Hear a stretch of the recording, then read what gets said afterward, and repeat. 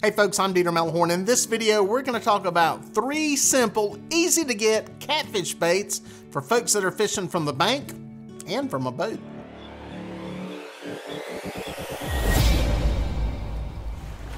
Well folks, it don't matter if you're brand new to catfishing and have never caught a catfish and are watching this video to figure out what bait to use, or if you're an experienced tournament angler. All of us ask the same question, what am I going to use for bait? Now, if you're an experienced tournament angler, you may want the biggest, juiciest, oiliest bait out there, and you may have to go catch it. You may have to throw a cast net. Was you want that fresh, juicy, awesome bait to catch that winning fish for a tournament. But if you're new to fishing for catfish, you just want to catch some fish. You just want a quick, easy way to get out on the water and catch some fish. And this video is for you. Now, bait number one is super easy. Uh, the cool thing about it is not only will it catch your target species of catfish, but it will catch some other fish. And that can be important whether you're catching those fish for fun or for bait, which we'll get to in a minute. But that first bait that you're going to want to try are worms. Yes, folks, the good old traditional earthworm, whether it be a big giant nightcrawler or some of the wiggly red worms, they will all catch catfish and other fish.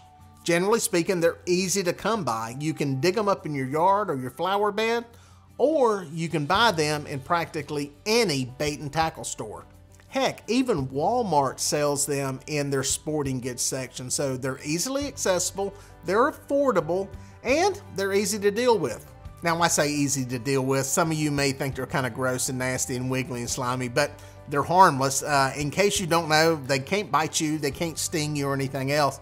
They're just kind of slimy and they kind of wiggly around, and yeah, that black stuff squirts out of them when you stick the hook in them, but they're a great bait. Now, generally speaking, I would be fishing these things on a 1-aught to 3-aught hook. You do not need a giant hook uh, when you're using earthworms as bait. You can fish them on the bottom, put them on a Carolina rig with a small sinker and put them on the bottom, or you can suspend them underneath a bobber so they're up further in the water column.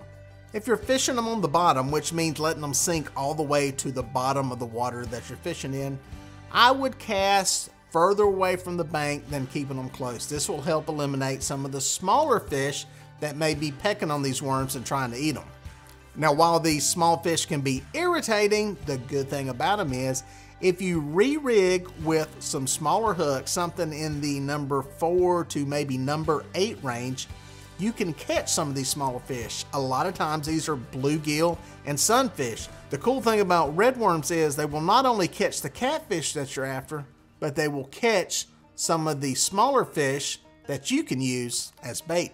And that brings us to bait number two, and that's bluegill and sunfish. These are some of the pretty little fish, small fish uh, that you catch. Usually it's one of the first fish that you catch as a kid, catching them underneath the bobber, like I said, putting a uh, small piece of a red worm or earthworm on a uh, small hook, something in the uh, number four to number eight range, putting it underneath the bobber, 18 to 24 inches, and you cast this out, uh, and your bobber goes under, boom, you catch them.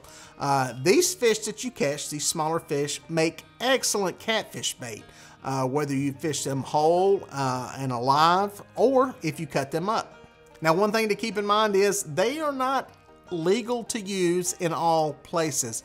So make sure that you check the local laws where you're at to see if using sunfish, bluegill, brim, whatever you want to call them, is legal. Now, most people that are new to fishing are getting out there in warmer weather, and these sunfish are usually up and down the bank in warmer weather. As the uh, leaves start to get green on the trees, these fish will move up toward the bank, and they're either spawning or pre-spawn staging. And uh, you can catch these things very close to the banks. Even you guys that only have bank access, you can catch brim bluegill, uh, these sunfish up and down the bank within four or five feet of the shore.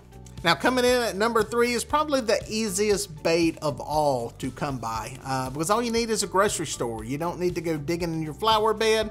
Uh, you don't need to go catch fish and that's using chicken breast. Now some of you may think, hey, that's really simple or that's a uh, gimmicky bait. Let me tell you something, I'm a fishing guide. And when I go out on a fishing trip, half of the bait I use is chicken breast. I too thought it was a joke. I thought it would not catch fish. I thought it would only catch small fish.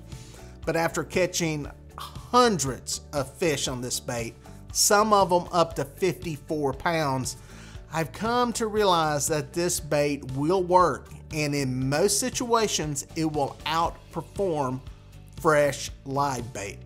I believe part of this has to do with the mussels and aquatic snails uh, that inhabit the bottom of many lakes and rivers. And if you don't have those, chicken may not work as well. But I can tell you this, it's worth giving chicken breast a try if you don't have anything else to go with. Now I know a lot of people will tell you to use chicken livers and chicken livers have caught millions of catfish over the years. Uh, arguably one of the most popular catfish baits out there. But here's the problem that I have with using chicken liver. One, it's very mushy. It's like trying to get a piece of jello to stick to a hook. Uh, there's all kinds of tricks and contraptions and everything you can do, but you don't have to do any of that stuff when you're using chicken breast. You don't have to dry it, you don't have to put it in pantyhose, you don't have to use any type of special devices to keep it on the hook. Chicken breast, you just put it on the hook. Chicken liver is a lot more of a pain to deal with. It is cheaper, I will say that. But for me, I would much rather use chicken breast when I'm looking for what many call a grocery store bait.